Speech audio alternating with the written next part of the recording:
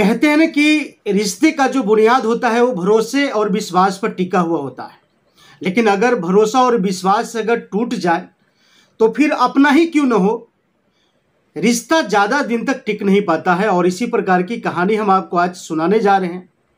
ये कहानी सुनाने का उद्देश्य ये है कि आपको सतर्क करना है। एक बहन ने अपने ही सगे भाई की बड़ी ही बेरहमी से हत्या करवा देती है ऐसा क्या होता है कि एक बहन को इस प्रकार की कदम उठाना पड़ता है कि अपने ही सगे भाई को बड़ी ही बेरहमी से हत्या करवा देती है। ये घटना लगभग 2004 की है। सुबह सुबह का समय था। गाँव से किसान जो है खेतों में फ़सल काटने के लिए जाते हैं। जैसे ही खेतों में एंट्री करते हैं किसान। देखते हैं कि खून से लथपथ छाया। एक युवक की लाश पड़ी हुई है। लाश को देखते ही वह किसान जो है चिल्लाने लगता है और आसपास के खेतों में जो लोग काम कर रहे होते हैं, वो चिल्लाहट की आवाज़ सुनकर उनके पास जो है दौड़े हुए चले आते हैं। लोग पूछते हैं कि क्या हुआ? कहता कि देखो, हमारे खेत के आड़ी पर एक लाश पड़ी हुई है। उसमें से कई ऐसे लोग होते हैं जो उस लाश को पहचान लेते हैं और कहते हैं कि ये तो फलाने की लड़का है और इसी गाँव की है। तो किसी ने कहता कि अभी हाल ही में ये बाहर से आया है। काफ़ी दिनों से ये बाहर रहता था। इस बार जो है एक सप्ताह पीछे इसने गाँव में अपने घर पे आया है और आज इसकी डेड बॉडी अब ये बातें उस गाँव में जो है पूरा सनसनी की तरफ़ फैल जाता है। पूरे आग की तरफ़ फैलता है कि आखिर ऐसा क्या हुआ कि जो लड़का काफ़ी सालों से बाहर रह रहा था, आज उसकी घर पे आते ही एक सप्ताह के बाद उसका डेड बॉडी मिल गया। ये खबर जब उस लड़के की माता पिता को पहुँचता है तो वो दौड़ करके आता है। और लाश को देख करके, अपने बेटे को देख करके रोने लगता है, काफ़ी बेचैन हो जाता है। उसकी माँ जो होती है, वो रह रह करके बेहोश होता है। पिता जो है, वो भी खामोश है। उनके भी आँखों से जो है आँसू निकल रहे लेकिन अब तक ये समझ में नहीं आया कि आखिर ऐसा हुआ क्यों? उसकी माँ और पिता, यह समझ में है कि आखिर ऐसा हुआ क्यों? ऐसा क्या हुआ कि मेरे बेटे की हत्या हो गई? अब ये कहानी बहुत ही दिलचस्प है। आगे की ओर जब आप बढ़ेंगे तो आपको पता चलेगा कि ये कहानी दिलचस्प है या दर्दनाक है। आनंद फाने में जो है पुलिस को इन्फॉर्मेशन किया जाता है, जानकारी दी जाती है, उसके बाद पुलिस अपनी दल बल के साथ मौके बर्दात पर पहुँचता है और लाश को जो है पंचनामा करके पोस्टमार्टम में भेज देता है। उसके बाद पुलिस उस खबर को जुटाने में लग जाती है, जिस खबर से पूरी गाँव में सनसनी फैल गया था और उसकी तहकीकात में जो है पुलिस जुटती है। और खबर निकालने की कोशिश करती है। सच्चाई जानने की कोशिश करती है कि आखिर ये घटना कैसे हुआ? ये घटना किसने करवाया? पूरी तहकीकात जब होता है, जब लोगों के सामने ये खबर पहुँचता है कि एक भाई को उसकी अपने ही बहन ने बड़ी ही बेरहमी से हत्या करवा दिया। जब ये पूरी गाँव में, ये जिला में, जब उस समय प्रिंट मीडिया में जब ये खबर फैली तो बहुत सारे लोगों को जो है रिश्ता पर से विश्वास उठ गया।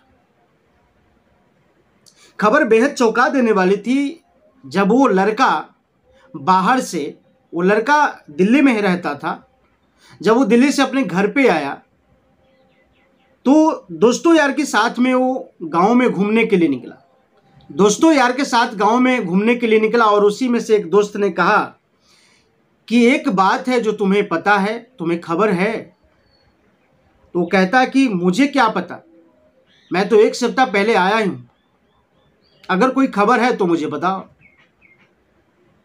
वो दोस्त कहता कि तुम्हारे घर से जुड़ी हुई खबर है और तुम्हारे बहन से जुड़ी हुई खबर है। जब वो लड़का ये सुनता है कि मेरे घर के और मेरी बहन से जुड़ी हुई खबर है। तो वो लड़का विस्तार से उसे पूछता है कि बताओ, आखिर तुम क्या जानते हो, क्या बात है, जो मैं नहीं जानता। कहता है कि तुम्हारी जो बहन है, वह होटल में जाती है और होटल में रात गुजारती है बड़े बड़े लोगों के साथ। जो होटल में लोग लड़कियाँ डिमांड करती हैं और होटल के मैनेजर और मालिक के साथ सेटिंग होता है और वो अपने ग्राहक, कस्टमर को रात को या दिन हो लड़कियाँ जो है परोसती है। उसके बदले में पैसे लेते हैं, आप सभी लोग जानते भी उसके बाद क्या होता है? कि जब वो लड़का अपने घर पर आता है और अपनी माँ और बहन और पिताजी से ये बात पूछता है, लेकिन वो अपने बहन के हाव भाव से वो पता कर लेता है कि सच्चाई इसमें कितनी वो करता क्या है कि वो लड़का अपनी बहन को, घर का अपने बहन को समझाता है कि इस प्रकार से नहीं करना चाहिए तुम्हें। अगर तुम इस प्रकार से करती हो तो आइंदा के बाद तुम्हें घर से बाहर जाने की ज़रूरत नहीं है। अगर तुम घर से बाहर अगर जाओगी तो मुझसे बुरा कोई नहीं होगा। अब अपनी बहन को जो है पूरी निगरानी के साथ वो लड़का निगरानी उस पर करने लगा था। अब होता क्या है कि जब वो लड़की होटल नहीं पहुँचती है तो पहले से जो उस लड़की की जो सहेली होती है, और भी जो लड़की होटल में जो उस प्रकार की देह व्यापार करती थी वो सभी लड़की इस लड़की के पास जो है फ़ोन करती है और बोलती है कि तुम आजकल आती नहीं हो, आखिर बात क्या है? तो वो लड़की जो है बताती है कि देखो, हमारे काम के बारे में हमारे भाई को जो है पूरी सच्चाई पता चल गया है और हमें घर से जो है निकलने पर मजबूर कर दिया है। लेकिन वो कहता है कि जिसको अगर एक बार चस्का लग जाता है, फिर उसकी चैन कहाँ जब तक उस काम को नहीं करती है, तब तक उसको चैन ही नहीं मिलता है। इसी प्रकार से कई दिन बीतता है और बीतने के बाद लगातार जो है ये लड़की अपने सहेली से बात करती रहती एक दिन की बात है कि उसकी सहेली कहती है कि तुम तुम आज़ाद हो जाओगी, अगर एक बात मेरी मानोगी तो तुम आज़ाद हो जाओगी। तुम्हारे रास्ते की कांटा जो है हट जाएगा। वो लड़की कहती कि थोड़ा सा विस्तार से मुझे समझाओ। पूरी प्लानिंग जो है, उसकी सहेली उस लड़की को बताती है। बताने के बाद वो लड़की बोलती है कि मुझे कुछ सोचने का मौका दो। कहता है कि सोचने के मौका नहीं, ये तुम्हें करने की समय आ चुकी है।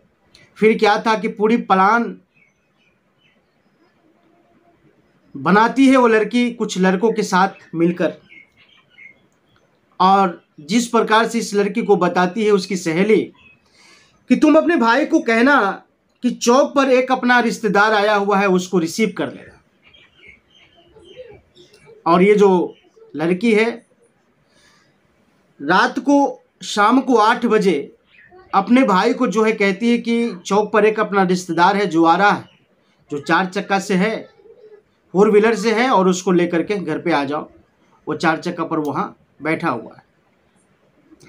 ठीक, पूरी प्लानिंग इसी प्रकार से थी। लड़के की मोबाइल पर जो है फ़ोन आता है और लड़के को ये बताया जाता है कि हम आपके रिश्तेदार हैं। हम चौक पर रुके हुए हैं, यहाँ से हमको रास्ता नहीं मालूम है। आप आकर के हमें रिसीव कर लीजिए, अपने घर तक लेकर के चलिए। वो लड़का फ़ोन से बातें करते हुए घर से निकल जाता है।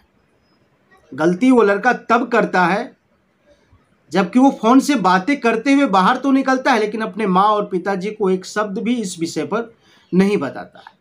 क्योंकि उसकी बहन,